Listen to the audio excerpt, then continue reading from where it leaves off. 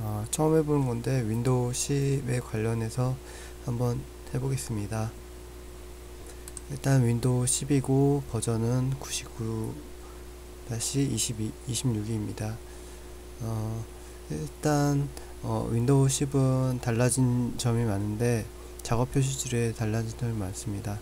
일단 작업 보기 단추 표시, 검색의 상, 상단 표시 다른데요.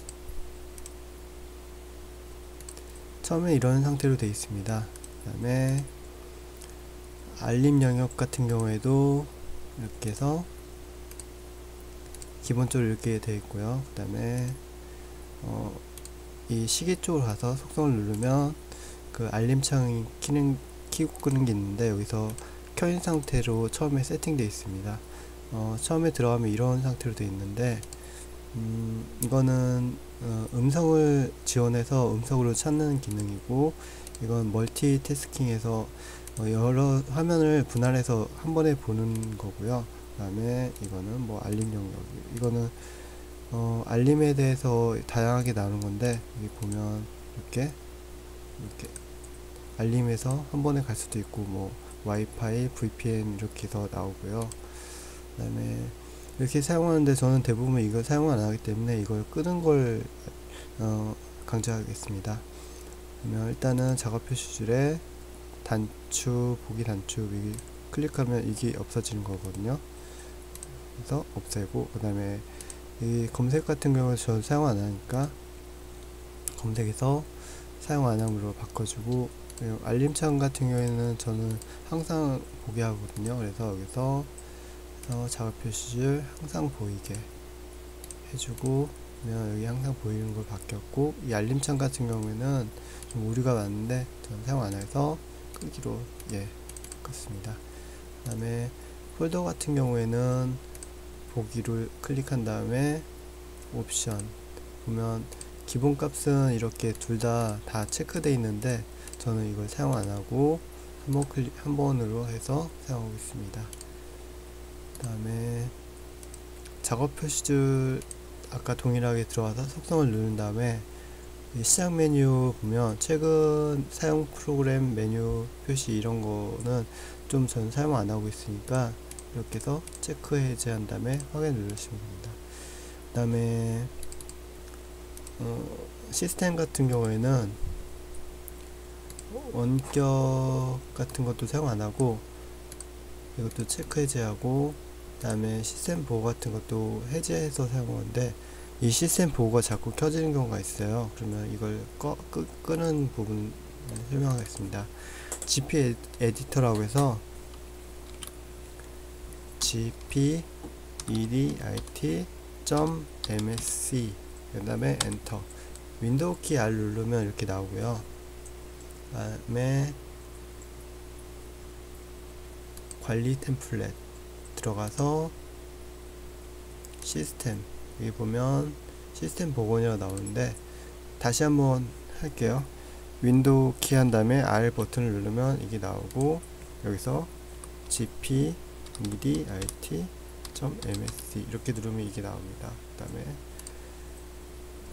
컴퓨터 구성 관리 템플릿 시스템 그 다음에 여기 보면 어디있지? 아 시스템 복원을 모두 이렇게 구성 사용 안함 시스템 구성 사용 안함을 사용으로 바꿔주시면 됩니다.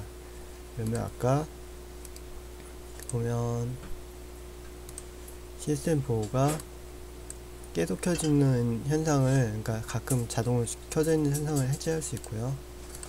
그 다음에 음, 윈도우 10 같은 경우는 좀 업데이트가 달라졌는데 옛날에는 시스템의 설정으로 들어갔었는데 이제는 제어 이걸 왼쪽 키를 창문이 왼쪽 키를 누르고 시스템 세팅을 들어간 다음에 업데이트 및 구성으로 들어가는 게 달라지고요.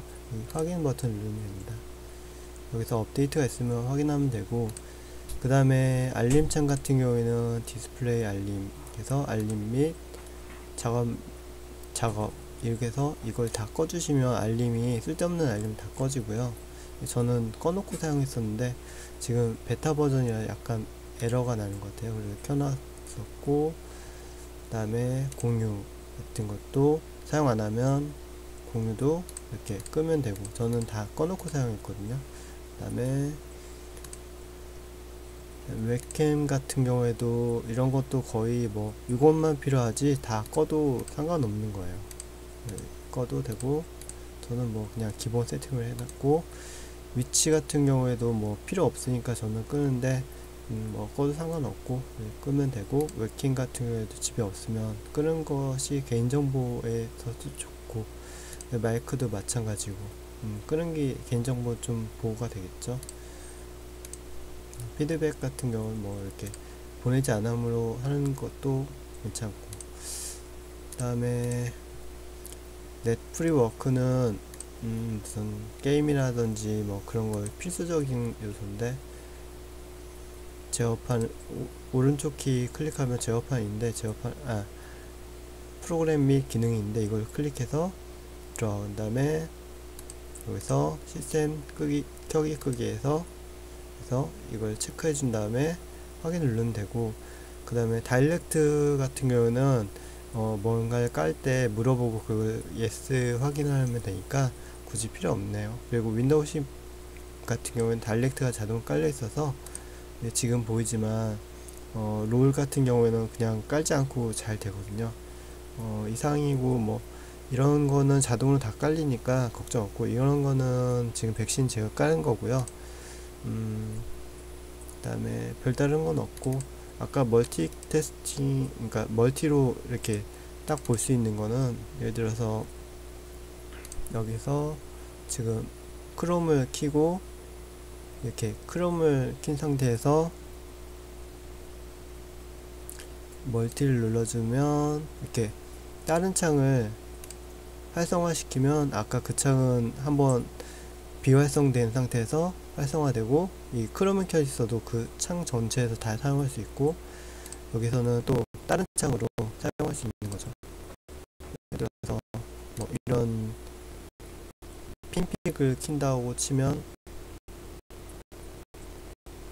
이렇게 전체 화면을 쓰면서 다른 화면으로 이렇게 간단하게.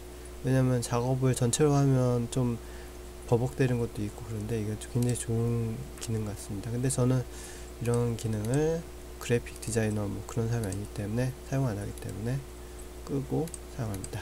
어, 딱 끄고 이상입니다. 음, 처음 해보는 강좌라서 뭐 좀 어색하기도 하고 음, 그러네요